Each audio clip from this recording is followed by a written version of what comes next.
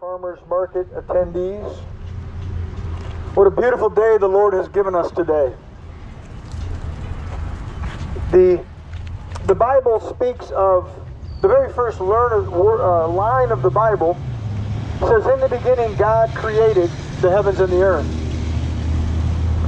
So, what we see there is in the beginning, God already was. God is. God stands outside of time. God stands outside of time, having created time. Time being a created thing with, with the sun and the moon, days, weeks, months, years. Time being a created thing, and God having created all things, He created time. And in the beginning, God, the word there for God is Elohim. And that is a plural word in the Hebrew. So what we see in the very first line of the Bible is the triune God. In the beginning, God, the triune God, created the heavens and the earth. God the Father, God the Son, and God the Holy Spirit. God the Father spoke, God the Son created, and God the Holy Spirit empowered. So in the beginning, God created. And with God, we see in John 1 1, in the beginning was the Word. The Word was with God. Theos, a singular word. So we have a Word that's with God, and the Word was God. And who that Word is, we see in John 1.14, was God the Son who became flesh and dwelt among us. So many people understand that Jesus Christ came to live on this earth, born of a Virgin Mary, some people's religion has them to understand that Jesus is God, God eternal. Other people's religion have, have it to believe that Jesus is a created being, the firstborn of all creation, as they would misquote or misunderstand the scriptures.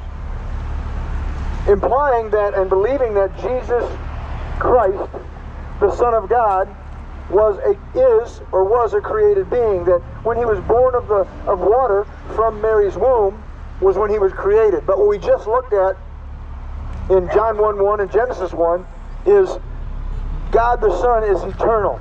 God the Son created all things. He created all things, seen and unseen.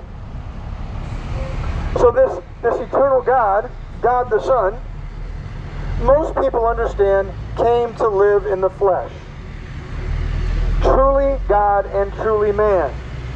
The word for that in, in Christendom is the incarnation. Incarnation coming from a Greek word in, en, which means in, and kario, flesh, in the flesh. So God the Son came to live in the flesh. So God the Son came to live in the flesh, which, which many people would, would accept in their minds. And many people I then talked to and asked the question, why did God the Son come in the flesh? What I would have you to think about as you hear my voice this morning is if you believe God the Son, Jesus Christ of Nazareth, God Himself, came to live in the flesh, I would have you ask yourself why. Why did Jesus come to live in the flesh? Why did God the Son, the God outside of time, acquiesce or condescend and step into time and live fully man and die as a man. Live as a man and die as a man. Why the incarnation? Many people's theology believes that Jesus came to show us how to live. And while he lived a perfectly sinless life, and for Christians, he is our model of life, so indeed he is an example we're to follow as Christians, he, he did not come to show us how to live. That's not why he came. Many people's theology would say God the Son, Jesus Christ, came to give us a better life now. That, that he came in order to heal the world of disease and poverty. And while Jesus did heal many people of diseases, even raising people from the dead, he never improved someone's financial stance, so he did not come in any sense even to um, decrease poverty, even the miracles he did. But while he did heal and raise the dead, that's not why he came. You see, in, in the book of Matthew, we see where Joseph was betrothed to Mary. And Mary was to be found with child. By the Holy Spirit, Mary was impregnated. And by the way, for any of my Catholic friends, the Immaculate Conception has to do with Jesus Christ being conceived in Mary by the Holy Spirit without sin. It does not have to do with Mary being sinlessly conceived. So Jesus was in Mary's womb, found to be with child. Joseph was engaged to her or betrothed to her. And because Joseph was a kind man, knowing that she was pregnant, and the only way people get pregnant is to have intercourse between a man and a woman, his assumption was she had done that. She had known a man. And the Spirit came and told Joseph, Mary's been with no man. Mary has conceived a child of the Holy Spirit. And she then, he then, the, the, the, the angel of the Lord then tells Joseph this. He says, She will bear a son, and you shall call him Jesus, because he will heal the world of all diseases? Not what the Bible says. Because he will give you a better life now? Not what the Bible says. It says, You shall call his name Jesus because he will save his people from their sins. The reason Jesus Christ, God the Son, came to live as a man was to live a perfectly sinless life a life where he completely fulfilled the law of God. The name Jesus, actually in English is Jesus, in the Greek is Jesus, Jesus, in the Hebrew is Yeshua. And what the word actually means is God is salvation. God is salvation. So so Christ Jesus, Jesus, the name actually means something. The name means God is salvation. The name does not mean God is physical healing. It does not mean God is uh, health. It doesn't mean God is wealth. It means God is salvation. And why do we need salvation? We need salvation because we, like God, have a soul that will never die. And we, in our flesh, we sin against God. We are sin. We live our lives in continual sin against God. And God said when He created man, Be holy as I am holy. He, he, his commands to us, which we all have written in our heart, is live to the standards that I have set. And the standards that God has set is perfection. And none of us in our flesh live perfect lives. And we know of a sacrificial system, maybe you've heard of that in the Old Testament, of bulls and goats, and the blood had to be shed to pay for sin, but that blood did not appease the wrath of God.